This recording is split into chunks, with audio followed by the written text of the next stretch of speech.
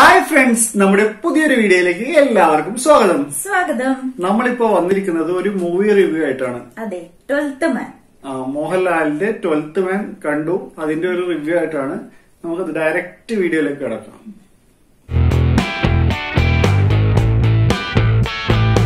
അപ്പൊ നമ്മളിപ്പം പോസിറ്റീവും നെഗറ്റീവ്സും ആയിട്ടൊന്നല്ല വന്നത്.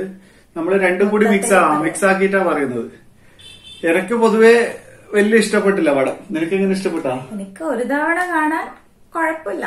ജസ്റ്റ് ടൈം പാസിന് ശരിക്കും. നിങ്ങൾ ഒരു മൂന്ന് മണിക്കൂർ ചെലവാക്കിയിട്ട് ഇരുന്ന് കാണേണ്ട ഒരു പടം ഇരുന്ന് കാണേണ്ട ഒരു പടം എന്ന് പറയില്ല. ജസ്റ്റ് ഒരു ടൈം പാസിന് വേണമെങ്കിൽ കാണാം പെർഫോമൻസ് വൈസ് ആണെങ്കിൽ എല്ലാം ഒരു ആവറേജ് ആവറേജ് പെർഫോമൻസ് എനിക്ക് ഇതിൽ ആരുടെ അഭിനയൊന്നും അത്ര.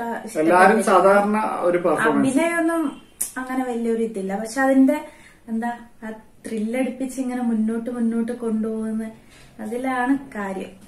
ശരിക്കും ഞാൻ പറഞ്ഞാൽ ഇതിൽ കുറെ താരങ്ങളുണ്ട്. മലയാള സിനിമയിൽ മുൻനിരയിൽ നിൽക്കുന്ന പല താരങ്ങളെയും കുത്തി നിറച്ചിട്ടാണ് ഈ പടാക്കിയത്.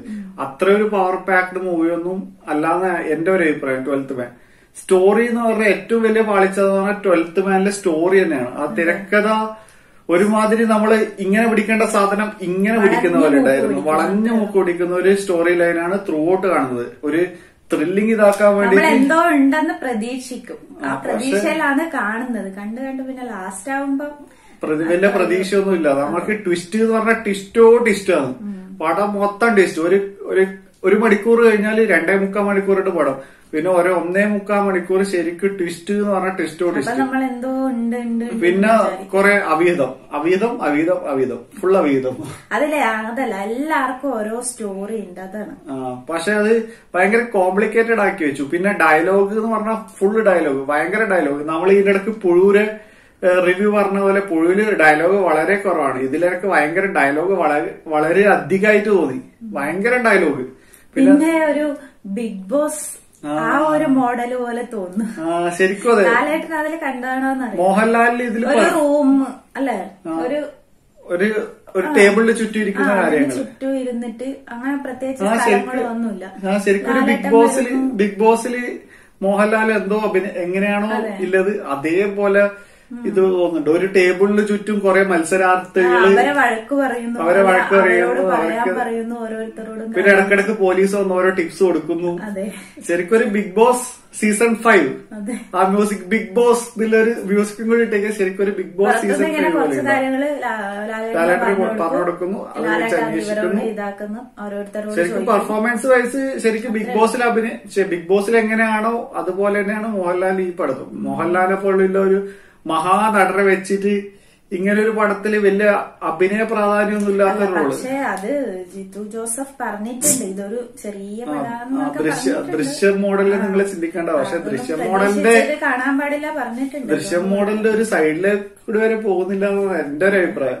ചെറിയൊരു പടാന്നൊക്കെ പറഞ്ഞിട്ടുണ്ട്. അതുകൊണ്ട് തന്നെ ശരിക്ക് ഇതിൽ ക്യാമറ വർക്ക് അടിപൊളിയായിട്ടുണ്ട് ഒരു റിസോർട്ടിന്റെ ബാക്ക്ഗ്രൗണ്ട് റിസോർട്ടിലെ ക്യാമറ ആ കഥ പറയുന്ന നല്ല രസം. നല്ല നല്ല റിയൽ സ്റ്റോറി പിന്നെ പെട്ടെന്ന് ഇവരുടെ അടുത്തേക്ക് ഇങ്ങനെ മാറി. ക്യാമറ വർക്ക് അടിപൊളിയായിട്ടുണ്ട് അതിൽ മോഹൻലാൽ മറ്റേ കാറിന്റെ സീറ്റിൽ ഇരുന്ന് നേരെ മറ്റേലേക്ക് അങ്ങനെ ക്യാമറ വർക്ക് സൂപ്പർ ആയിട്ടുണ്ട്. പിന്നെ ഒരു വമ്പൻ ദുരന്തം എന്ന് പറഞ്ഞാൽ ബാക്ക്ഗ്രൗണ്ട് സ്കോർ ബാക്ക്ഗ്രൗണ്ട് സ്കോർ വെറും ഷോകായിട്ടുണ്ട് ഒരു ത്രില്ലിംഗ് മൂഡിലുള്ള ഒരു പടം കാണുന്നുള്ള ഒരു ബാക്ക്ഗ്രൗണ്ട് സ്കോറേ അല്ല ഇതിൽ. ഭയങ്കര ലൈറ്റ് മ്യൂസിക് പിന്നെ മറ്റേ ത്രില്ലിംഗ് ആയിട്ട് നമ്മളെ പിടിച്ചിരുത്തുന്ന ഒരു മ്യൂസിക്കേ അല്ല ഈ പടത്തിൽ പിന്നെ ജിത്തു ജോസഫിന്റെ പടമായതുകൊണ്ട് വലിയ ഭയങ്കര ഒരു എക്സ്പെക്ടേഷനിലാണ് കണ്ടത്. ആ എക്സ്പെക്ടേഷന്റെ ഒരു പകുതി പോലും എനിക്ക് കിട്ടിയില്ല എന്നാണ് ഞാൻ പറയുന്നത്. എന്തുകൊണ്ടെന്ന് പറഞ്ഞാൽ തിരക്കഥയിലെ പാളിച്ച തന്നെ. തിരക്കഥ എന്ന് പറഞ്ഞാൽ അത്രയും ശക്തമായില്ല. ഇത്രയൊന്നും ടിസ്റ്റൊന്നും എനിക്ക് പക്ഷെ കാണുമ്പോ ഇങ്ങനെ കണ്ടിരിക്കാൻ എന്താവും എന്താവും എന്താവും എന്നുള്ള ഒരു ആകാംക്ഷ വന്നിട്ടുണ്ടായിരുന്നു. പക്ഷെ ഫുൾ കണ്ടു കഴിഞ്ഞപ്പോ ഒന്നുമില്ലാന്ന് തോന്നി. ഒരു ചീറ്റിപ്പോയ പടക്കം പോലെ. ജ- ശരിക്കും ഒരു വൺ ടൈം വാച്ചബിൾ ആണ് പക്ഷെ അധികം ഒന്നും നമ്മൾ എക്സ്പെക്ട് ചെയ്തിട്ട് ഇരുത്തിക്കും കുറച്ച് കുറച്ച്. ലാസ്റ്റ് ആവുമ്പോ പിന്നെ പക്ഷെ വളരെ ഇരുത്തിപ്പി ഇരുത്തിപ്പോയി.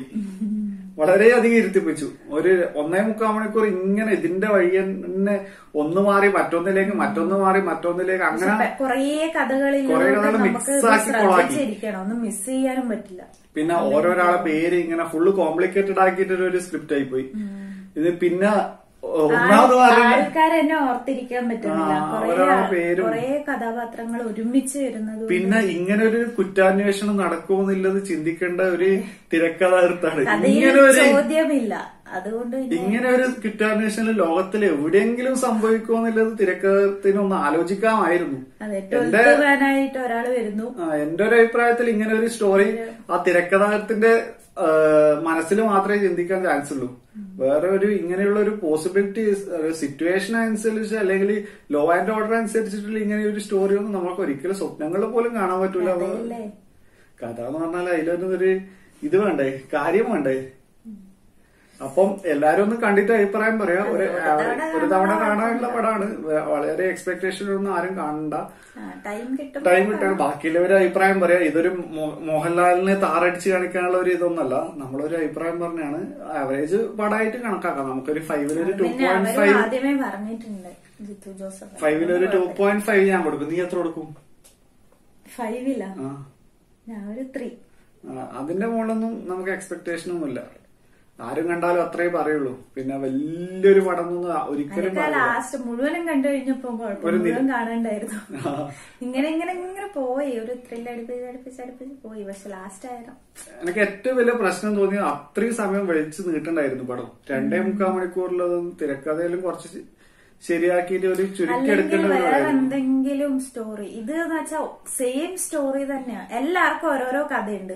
അതിൽ രണ്ട് മൂന്ന് മൂന്ന് പേർക്ക് തന്നെ സെയിം സ്റ്റോറിയാണ് ഒരേ തരത്തിലുള്ള കാര്യങ്ങളാണ് ഒരു മൂന്ന് പേർക്ക് വരുന്നത്. ടെസ്റ്റ് കുറച്ച് കുറച്ചിട്ട് ഒരു ത്രില്ലിംഗ് ആക്കിയാൽ പണം കുറച്ചും കൂടി ബെറ്റർ ആവുമെന്ന് തോന്നുന്നു. നിങ്ങളെല്ലാം കണ്ടിട്ട് അഭിപ്രായം പറയുക. അപ്പോൾ ഇന്നത്തെ വീഡിയോ ഇഷ്ടമായാൽ ലൈക്ക് ചെയ്യുക ഷെയർ ചെയ്യുക കമന്റ് ചെയ്യുക. സബ്സ്ക്രൈബ് ചെയ്യാത്തത് സബ്സ്ക്രൈബ് ചെയ്ത് സപ്പോർട്ട് ചെയ്യുക. തൊട്ടപ്പുറത്ത് കാണുന്ന ബെൽ ബട്ടണിൽ ഓൾ എന്ന ഓപ്ഷൻ കൂടി എനേബിൾ ചെയ്യുക. അപ്പോൾ അടുത്ത വീഡിയോയിൽ കാണുന്നതുവരെ ടാറ്റ ബൈ ബൈ